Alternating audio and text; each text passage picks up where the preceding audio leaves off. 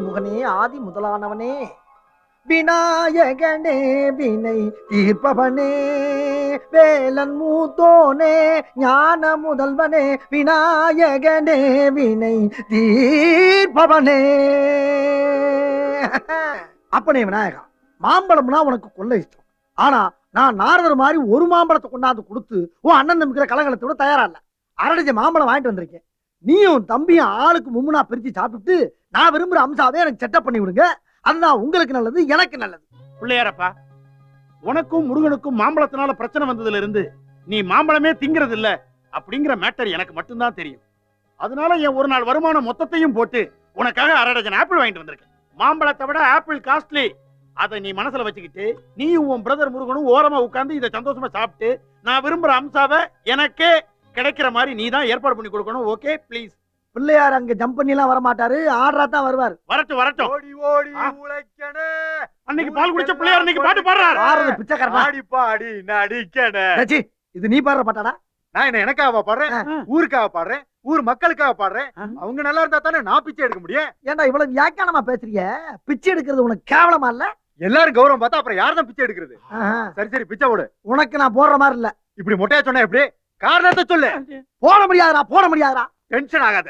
எங்களை மாதிரி அஞ்சு பத்து சம்பாதிக்கிறவங்கள அஞ்சு கோடி பத்து கோடின்னு ஆசை காமிச்சு எங்களை கையேந்திர நிலைமைக்கு கொண்டாந்து விட்டது. உங்களை மாதிரி லாட்டரி சீட் விக்கிறவன் தானே. என்னடா சொன்ன? அதருமும் தலை காக்கும். தக்க சமயத்தில் உயிர் உயிர் உயிர் காக்கும்.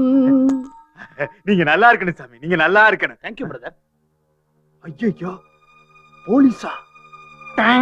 என்ன கீழே விழுந்தா என்னாச்சு? கஞ்சி போடாத காட்டன் துணி மாதிரி விழுந்துட்டியே. தம்பி என்ன நல்லா இருந்துச்சு நீ மயங்கி பாவி ஒரு பரதேசி அநியாயமா கொண்டுட்டீரா செத்துட்டானா? ஆமா. இனிமேல் அம்சா எனக்கு தான் உனக்கு இல்ல. நாளை காலையில ஒன்பது காலுக்கு உனக்கு தூக்கு. ஒன்பதே காலுக்கு? தப்பா நினைச்சுக்கிட்டு இருக்காத. அதே கயிறுல நாம ரெண்டு பேரும் சேர்ந்து தான் தங்குவோம். தங்குறதுக்கு அது என்ன லாஜா? சீ தொங்குவோம். சிரிச்சுக்கிட்டு இருக்க. அநியாயமா இங்க ஒருத்தன் செத்துட்டான். டேய் சத்தம் எங்க இருந்து வருது? இங்க இருந்து வருது? ஏதோ தகவல் வருதுப்பா. உங்களின் ஒரு கோடி ரூபாய் பணம் சாங்ஷன் ஆகிவிட்டது. உடனே வாங்கிக் கொள்ளவும் அரோகரா பேங்க் ஹெட் ஆபீஸ் கோடியா கோடியா கோடியா அப்பா! அப்பா உங்க புள்ளி அராஜா விட்டுட்டு அம்மோடு போயிட்டீங்களப்பா. அண்ணா! அண்ணனா? ஆ. நானா. வேணாம். வேணும். ஏன்? இவர் உனக்கு அப்பாங்கும் போது எனக்கு நீ அண்ணனாக கூடாதா? பிரிச்சு பேசினா காட்டி கொடுத்துருவேன். அண்ணா! நம்ம ரெண்டு பேர்த்த அனாதையாக்கிட்டு நம்ம அப்பா போயிட்டாரு அண்ணா. சித்தப்பா! அடச்சி ஒரு கோடி எங்களுக்கே பத்தாது உனக்கு வர பங்கா? ஓரமா உட்காரியில நசுக்கிடுவேன். என்னடா இங்க ஒப்பாரி வச்சுட்டு இருக்கீங்க? இங்க கீழே விழுந்திருக்கானே. இவன் பெரிய திருடன். இவனுக்கு பின்னால ஒரு பெரிய கேங் இருக்குன்னு சந்தேகப்பட்டு தான் இவன் பின்னால நான் ஃபாலோ பண்ணிட்டு வந்துட்டு அப்படியா? இருக்கேன் ஏன்டா நீ இவனுக்கு மூத்த புள்ள இவன் ரெண்டாவது புள்ளையா. நீ அண்ணன் இவன் தம்பியா? கொஞ்சம் பாருங்க சார். இந்த பரதேசி பையன் எங்களை கேட்காம கொள்ளாம கடம்பு வந்து செத்து போயிட்டான் சார். அவனை என்ன கலை சார் முதல்ல? சொல்லவே இல்ல. வணக்கம் சார் சார் இவங்களை எனக்கு நல்லா தெரியும் சார் இவர் பேரு வேரன் இவர் பேரு பாலன். இவர் லாட்டி சீட்டு கடை வச்சிருக்காரு இவர் லாண்டி கடை. வச்சிருக்காரு. இவங்க ரெண்டு பேரும் ரொம்ப நல்லவங்க ஆமா சார். அப்படியா? ஆமா. உன் பேர் என்ன? அம்சா நீ சொல்றதுக்காக இவங்கள விடுறோமா அவங்க சொன்னவன விட்டீங்களே அவங்கள தெரியுமா உங்களுக்கு? இல்ல இவங்க ரொம்ப அழகா இருக்காங்க. இவங்க சொன்னா உண்மையாதான் இருக்கும். காரணம் நல்லா இருக்கு. பிச்சைக்காரனுக்கு அது பிள்ளைங்களா வந்து அம்சா. பேசாத. வாயாங்க ஏன் அம்சா சூடா இருக்க? இஸ்திரியில கைய வச்சிட்டியா? யோ வாய முடியா. யோ உங்க ரெண்டு பேரும் நான் கடைசியா சொல்லிக்கிறேன். நான் வசதியா வள காரு பங்களா பணம் நகன்னு யார் ரெண்டு பேர்ல முதல்ல கொண்டு வரீங்களோ அவங்கள தான் நான் கல்யாணம் பண்ணிக்குவேன். ஆமா ஏன் இப்படி பேயா அலையுற? ஏன்னா நான் இன்றைய மந்திரி ரெண்டு பேரும் பணம் சம்பாதிக்கிற வழியை பாருங்க. ஆப்பிள் என்னதுடா? ஆ இப்ப சொல்லு நீ யாருன்னு? என்னண்ணே என்ன பார்த்தா நீங்க கூட்டு வந்தீங்க? பெருமாள் கோயில அஞ்சு பைசாவுக்கும் பத்து பைசாவுக்கும் பிச்சை எடுக்கிற பிச்சைக்காரனா? இதுக்கான உனக்கு அஞ்சு செட்டு இட்லி ஆறு செட்டு பூரி ஏழு செட்டு இடியாப்பம் எட்டு செட்டு புரோட்டா கொத்துக்கறி சோடா பீடா ஜீரண மாத்திரை வாங்கி கொடுத்தேன். உனக்கு என்னவா நடிக்க சொல்லி கொடுத்தேன்? அதை சொல்லு. சொல்றேங்க. நான் போஸ்ட்மேன் மாதிரி நடிச்சு. நீங்க குடுக்குற அந்த டுபாகூர் லெட்டரை. சிங்கப்பூர்ல இருந்து உங்க அப்பா அமிச்சாரு அப்படின்னு சொல்லி கடைக்கு முன்னாடி நாலு பேர் பார்க்கும்போது கொடுக்கணும். அவ்வளவுதானே? அப்புறம்? உங்க அப்பா மாதிரி நடிச்சு பல கோடி ரூபாய் சொத்துக்கு நீங்க ஒருத்தர் தான் ஏக போக வாரிசுங்கிற மாதிரி பாக்குறவங்கள நம்ப வைக்கணும். கரெக்ட். இத நீ கடைசி வரைக்கும் ஃபாலோ பண்ற. இந்த தாடி இத முகத்துல ஒட்டிக்க. ஒட்டினதுக்கு பின்னால புதருக்குள்ள எந்திரிச்சு வந்த மாதிரி இருக்கும். அதை பார்த்து நீயே பயந்து ஓடிடாத ஏய் இந்தா இந்த மீசைய மூஞ்சில ஒட்டிக்க சுட்ட ஆட்டுக்கால சொறி நாய் கப்பிட்டு ஒண்ண மாதிரி இருக்கும். உன்னை யாருக்கு அடையாளம் தெரியாது?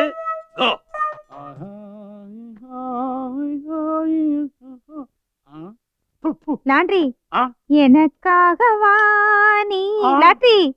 எனக்காகவா எனக்காகத்தான் கண்ணே. எனக்காகத்தான்.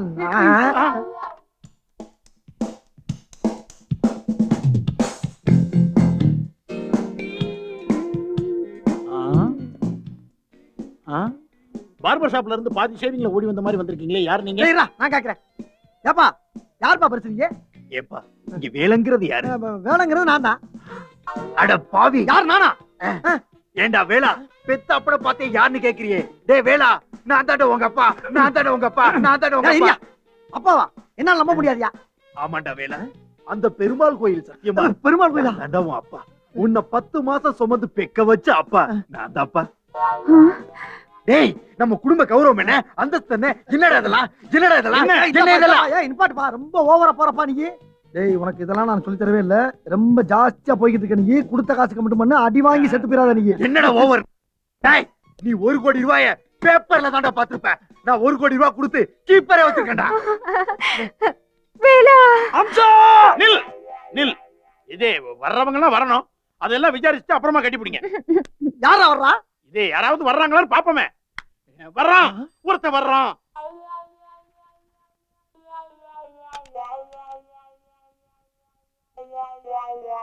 அவசரப்படாத. வர்றவரை விசாரிப்போம். இங்க உயர்திரு பாலங்கிறது யாருங்க? நான் தாங்க. உங்களுக்கு சிங்கப்பூர்ல இருந்து நிஜமாவே ஒரு லெட்டர் வந்திருக்கு. நிஜமாவே வா அம்சா மை சிங்கப்பூர் லெட்டரை உங்க கையால ஓபன் பண்ணி படிங்க. என்ன என்ன பண்ண போற? இருடா படிப்ப முல்ல. படி படி. ஆ. அன்புள்ள குழந்தை உள்ளம் கொண்ட மகனுக்கு சிங்கப்பூரிலே மூன்றாவது பணக்காரனாக உள்ள உன் அப்பாவாகிய நான் எழுதுவது. நீ இந்தியாவில் ஒரு லாட்டரி கடைக்கு பக்கத்தில். லாண்டரி கடை வைத்துக் கொண்டு. அஞ்சுக்கும் பத்துக்கும் நாயாக அலைகிறாய் என்று கேள்விப்பட்டேன். ஆ. ரத்த கண்ணீரும் படித்தேன் ஆமாப்பா. இன்னும் ஒரு வாரத்துக்குள் விசா அனுப்புகிறேன். இங்கு வந்து சேர்ந்து விடறா மகனே. இப்படிக்கு பல கோடி ரூபாய் சொத்துக்களை உன்னிடம் ஒப்படைக்கவே உயிரை கையில் பிடித்துக் கொண்டிருக்கும் உன் சிங்கப்பூர் அப்பா அபேஸ்வரன் அப்பா இன்னொரு கூட்டு வரப்பா உன் பேரை சேர்த்துறட்டுமா பாலா. வேலா. பாலா வேலன் வேலா பாலன்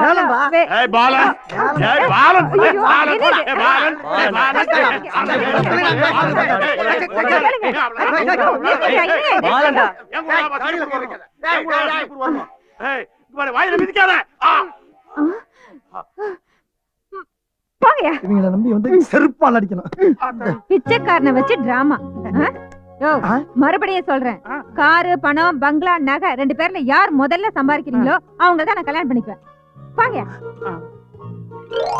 ஆமா இந்த செட்டப்புக்கு உனக்கு எவ்வளவு செலவாச்சு? உனக்கு எவ்வளவு செலவாச்சுன்னு சொல்லு. தாடி மீசை டிப்பன் செலவெல்லாம் சேர்த்து ஐநூறு ரூபா ஆச்சு. எனக்கு ஒரு கிளாஸ் நீர்மோர் வாங்கி கொடுத்துட்டு ஐநூத்தி ஐம்பது ரூபாய் கையில வாங்கிட்டு போயிட்டான். ஓகே.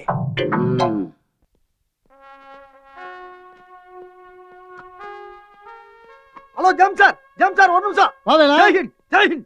ஜெய்ஹிந்த். என்ன சார் மிலிட்டரில இருந்து வர்றீங்களா? லீவ்லயா கொண்டாடி பிள்ளைய பார்க்க வந்தீங்களா? வந்துகிட்டு இருக்கோம்ல. வந்துகிட்டு இருக்கும் போதே வந்துகிட்டு இருக்கீங்களா? என்னடா ஒரு கேள்வி? யூஸ்லெஸ் சுற்றுவேன். என்ன சார் நீங்க? கோச்சுக்கிட்டீங்க? ஏன் சார் கார்கில் போர்ல போய் நம்ம ஊருக்கார ஒருத்தர் சண்டை போட்டு வராருன்னு இவ்வளவு பெருமையா இருக்கும் நீங்க கப்புன்னு துப்பாக்கி தூக்குறீங்க? James sir James sir. வணக்கம் சார்?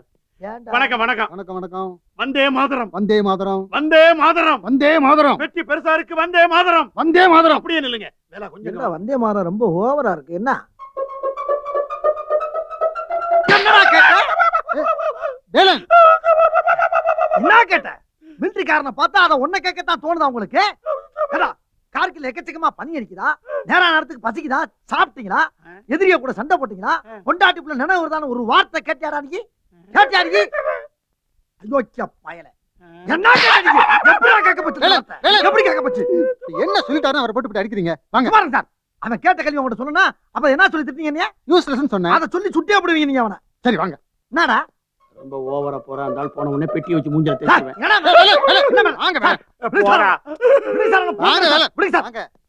என்ன. என்ன இந்த அடி போட்டு அடிச்சிட்டீங்க? அவன் என்ன கேட்டா தெரியுமா சார்? என்ன கேட்டா? என்ன கேட்டா தெரியுமா? என்ன கேட்டா? என்ன கேட்டா தெரியுமா சார்? திரும்ப திரும்ப கேட்டுக்கிட்டு இருக்க சொன்னதே சொல்லிக்கிட்டு இருக்க? என்னடா கேட்டா? இல்ல சார். மிலிட்டரி போயிட்டு வந்தாரு. பாட்டுக்கிட்டு வாங்கிட்டு வந்தாரு கேக்குறான் சார். இதானே கேட்டா? இது ஒரு பெரிய விஷயமா? சார் என்ன சார் நீங்க அவனுக்கு சப்போர்ட்டா பேசுறீங்க? பாட்டு கேட்டா எப்படி கேக்குறது சார்? எப்படி கேக்குறது? இப்ப நீங்க பட்டாளம் இருந்து வர்றீங்க. சரி. சாராயத்தையே குடிச்சு நாக்கு சித்து போனவங்களுக்கு ஒரு பாட்டில் தர்றது வழக்கம் ஆமா. அதை எப்படி கேக்குறது? அதை எப்படி கேக்குறது? சரி, ஸ்ட்ரைட்டா சரி, கேக்குறது? வாங்க. வாங்க. நீங்க. அப்படியே நினைச்சாலும் நீங்களா புரிஞ்சுக்கிட்டு கொடுக்கணும். நம்மளா கேட்க கூடாது. இல்லையா? புரியுதா? இல்ல சார் நான் கேட்கத்தான் முடியும். அதுக்காண்டி கால்ல கையில மண்ணுல புளிதுல உருண்டு பிறண்டு கண்ணீர் விட்டு கதறியா கேட்க சார் ஒரு பாட்டில் கொடுங்க சார். ரொம்ப நாளைக்கு சாராயத்தையே குடிச்சுக்கிட்டு ஒரு கொடுங்க சார் கேட்கணும். அப்படிதான் கேட்கணும். அதை புரிஞ்சுக்க நீ தானே தரணும்? ஆமா. இப்ப புரிஞ்சுக்கணுமா இல்லையா நீங்க? ஆமா. புரிஞ்சுக்கணுமா இல்லையா. புரிஞ்சு போச்சா இல்லையா ஆமாண்டா. பாட்டு இருக்கா இல்லையா உங்ககிட்ட பாட்டு இருக்கா இல்லையா? கேக்குறோம்ல பாட்டு இருக்கா இல்லையா? பாத்தா! அப்பா உங்க ரெண்டு பேரையும் பார்த்தா பாவமா இருக்கு. என்ன பண்றது?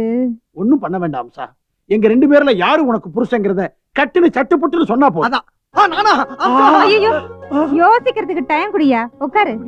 ஐயோ நீயும் உட்காரியா? நானே. அம்சா நான் தானே நான் தானே. நான் தானே இங்க கை வச்சுக்க இங்க கை வச்சுக்க இங்க கை வச்சுக்க. இங்க வச்சுக்கலாங்க இங்க. யோ பூவத்திலைய போட்டு பார்க்கலாமா? கேவலம். காதல சுண்டி பார்த்து சொல்ற அளவுக்கு சீப் ஆக்கிட்டியேமா கொஞ்சம் சும்மா இருடா. இப்பதான் ஏதோ ஒண்ணு சொல்றா. அதுலயாச்சும் ஒரு முடிவு பிறக்கட்டும் அம்சா நீ பூ அத்தனைய போட்டு பாரு. இல்ல. இது இவன் சூழ்ச்சி பண்ணாலும் பண்ணிருப்பான். ரெண்டு பக்கமும் ஒரே மாதிரி இருந்தாலும் இருக்கும். இது வித்தியாசமா தான் இருக்கு. இதை சுண்டலாம். சுண்டு, சரி. யாரு பூ யார் தலை? நான் வந்து தலை. அஹ் இது நான் தான் தலை. சரி வச்சுக்க. நான் பூ. பூ தலை. தலை. போட போறேன். போடு, போறேன். தல தலையா தல தலையா தல தலையா. அம்சா! அம்சா! அண்ணே, ஆ, அண்ணி ஏன்டா? ஏன் அப்படி கத்துற? அண்ணிய கட்டி பிடிக்க கூடாதா அண்ணன் ஒரு கோவில் என்றால் அண்ணி ஒரு தெய்வம் என்றோ.